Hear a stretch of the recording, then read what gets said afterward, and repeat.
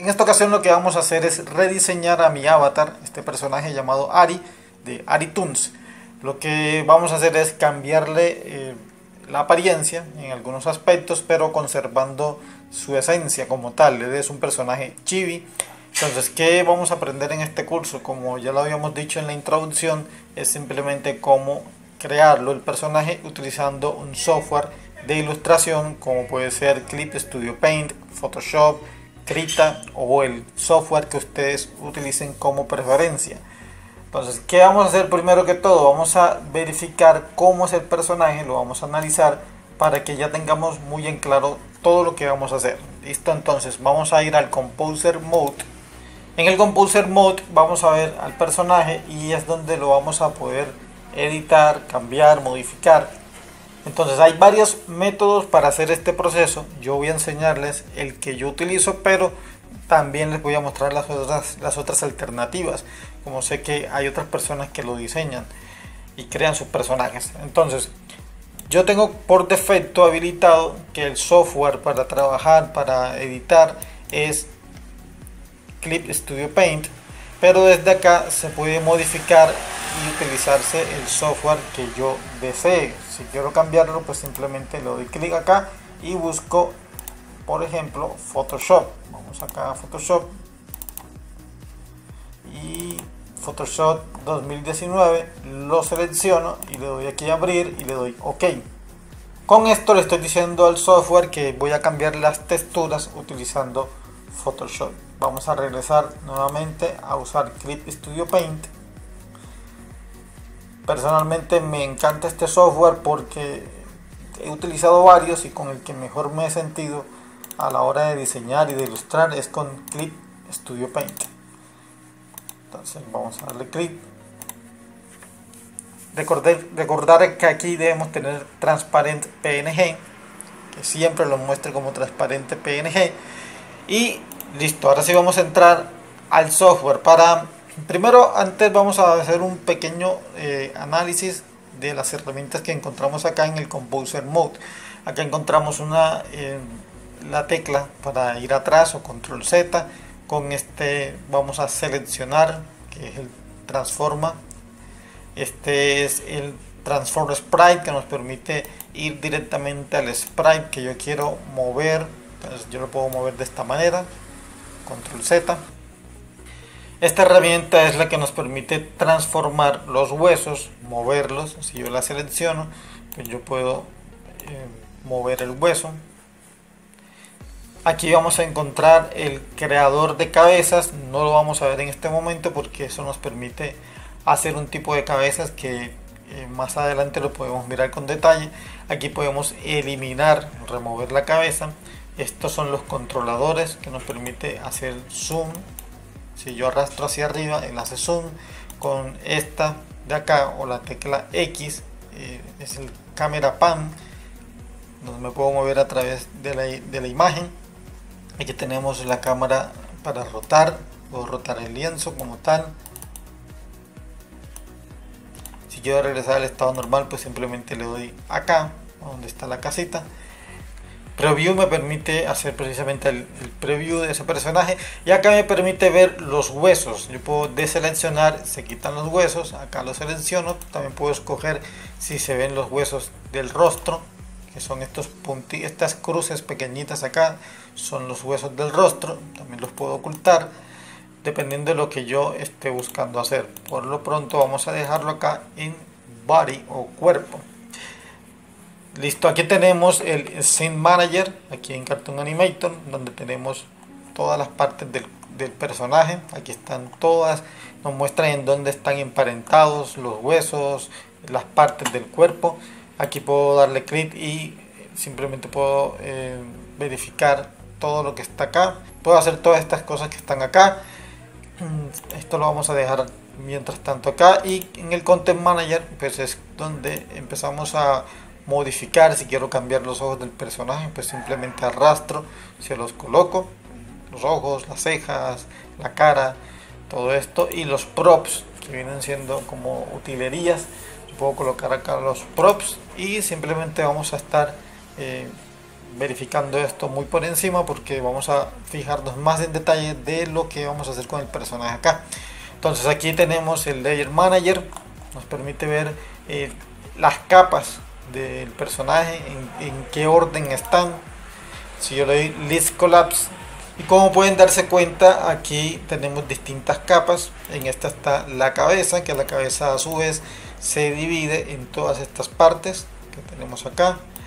También tenemos eh, el brazo, tenemos el brazo izquierdo, la mano izquierda, tenemos el pie izquierdo, la pierna izquierda, el torso. El torso viene con el cuello, la parte del torso y la pelvis en una sola capa. Y tenemos también el pie derecho, la pierna derecha, el brazo derecho y la mano derecha. Lo que está al final o de último, en la parte de abajo, es la mano derecha. ¿Por qué? Porque queda justo detrás de todas las demás partes del cuerpo. Listo, entonces pasamos ahora a verificar cómo es el personaje utilizando el editor externo de Photoshop o de archivos de Photoshop. Como les dije antes, yo uso Clip Studio Paint y lo primero que me sale es esto. Y aquí me va a preguntar que si voy a exportar la cabeza y el cuerpo en un solo archivo. Yo le doy que sí a esa parte y escojo la opción 3.0 para que me quede con estas eh, características el lienzo que quede de 1936 de ancho por 3493 de alto yo podría utilizar esta opción que es exportar la cabeza por un lado y el cuerpo por otro pero realmente yo no lo utilizo así que utilizo la primera opción y aquí me pregunta que si quiero que la cabeza se, o la estructura de la cabeza en Photoshop se edite un solo ángulo o se habilite el multiángulo. Primero vamos a utilizar este de editar un solo ángulo y le damos lanzar. Bueno, este es un personaje G3 y como personaje G3 tiene un solo ángulo para que lo animemos con ese ángulo que tenemos acá. A diferencia, a diferencia de los G2 que tiene 10 ángulos. Pues bien, cuando nosotros nos vamos a esta parte derecha de Clip Studio Paint, vamos a encontrar primero el RL Bone Human que encontramos acá. Si lo desplegamos nos aparece los huesos del personaje. ¿Cuáles huesos? Pues simplemente estos que hayamos acá. Estos amarillos son los huesos, pero no los muestra como una línea, sino que nos muestra los puntos donde se ubican las intersecciones de cada hueso. ¿Listo? Eso es lo que encontramos acá.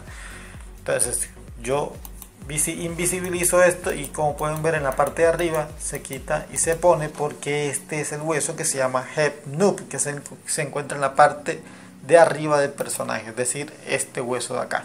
¿Listo? Cerramos esto y podemos ver que hay otra carpeta que se llama el Talk RL Talking Head, que nos muestra cómo es la cabeza del personaje. Entonces nos muestra los huesos, estos que están acá, pero también nos muestra de este lado el perfil que tiene este personaje, que es la cabeza en tres cuartos.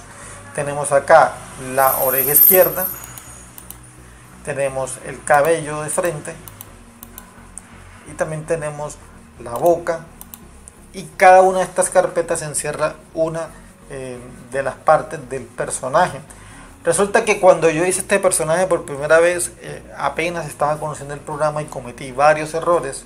Más adelante van a ver cuáles son los errores que yo cometí y que eh, este curso va a ayudar a que ustedes no los cometan. Entonces, em, varios errores al momento de hacerlo y diseñarlo, por ejemplo, que yo le hice en la carpeta del rostro, le hice las gafas. Algo que no lo vayan a hacer si su personaje tiene gafas. Hay que hacérselas por separado. Les voy a enseñar cómo se hacen. Y eh, otro error que también cometí fue en el tema de las manos. Cuando yo me doy clic acá, bueno, en Clip Studio Paint yo utilizo operación, que es este cubo, y voy directamente a la parte del cuerpo que yo esté apuntando. Entonces me voy acá a operación. Las manos eh, son todos estos sprites que se encuentran acá. Se ve la primera mano que tenemos pero ¿qué sucede? Eh, yo coloqué estas posiciones de una forma arbitraria, no sabía en esa época cuáles eran las posiciones exactas para colocarlo y en este curso les voy a enseñar cómo se hacen las manos y en qué posiciones van a ir. Entonces eh, cerramos acá. Y cerramos esto. Vamos a cerrar todo. Luego que ya miramos la parte de la cabeza y las partes que tiene vamos a encontrar la carpeta de RL imagen imagen que viene siendo RL, RL imagen donde vamos a encontrar ya las partes del cuerpo. Entonces el brazo derecho la mano derecha la mano izquierda perdón el brazo izquierdo también tenemos el pie izquierdo, la pierna de izquierda y así todas las distintas partes del personaje las vamos a encontrar acá. Entonces, vamos a eh, cambiar este personaje. Entonces, ¿qué es lo primero que yo voy a hacer? Es crear un documento que tenga estas medidas del personaje. Entonces, yo me voy acá a edición y aquí le digo donde dice cambiar tamaño del lienzo para nuevamente recordar cuáles son las medidas. Entonces yo hago control C y me voy acá, creo un blog de notas, control V, control C, control V y tengo así las medidas. voy a cancelar y voy a crear un nuevo archivo. Entonces archivo nuevo, archivo de ilustración y vamos a colocar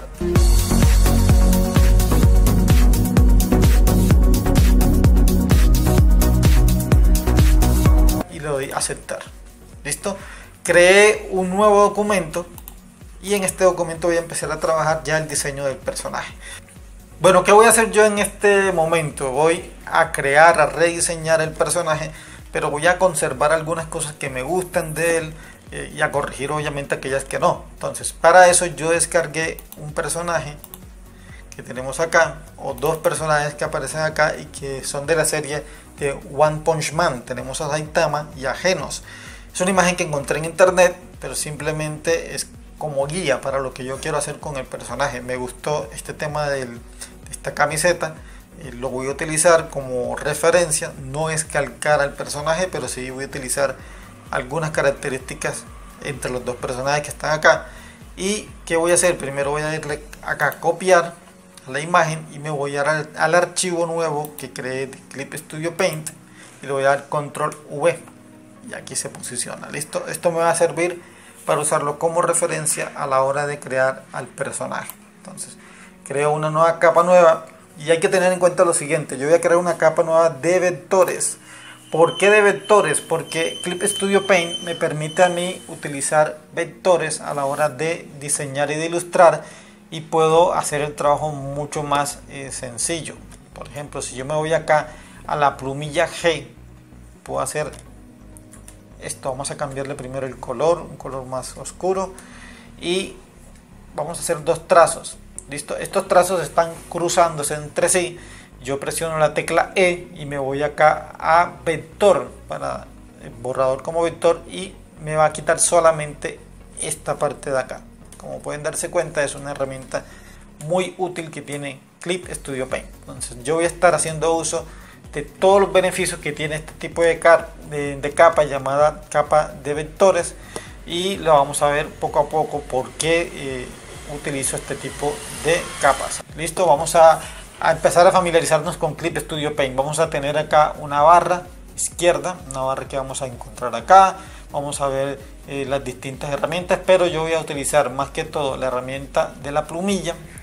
Vamos a utilizar el borrador, vamos a utilizar eh, el bote de pintura y a medida que vayamos usando el software les voy a mostrar qué hacer y qué no hacer, listo, porque no vamos a hacer un curso de Clip Studio Paint, sino el curso es cómo diseñar sus propios personajes. Ahora, en, futuros, eh, en, futuras clases les voy a mostrar también cómo utilizar otro software para que ustedes no estén pensando que ah, ahora tengo que comprar Clip Studio Paint, porque no es gratis, señores. Entonces, no, no es gratis, pero hay otras alternativas también gratis que pueden utilizar y más adelante les voy a hablar de cuáles son. Listo, entonces por ahora terminamos con esta primera clase.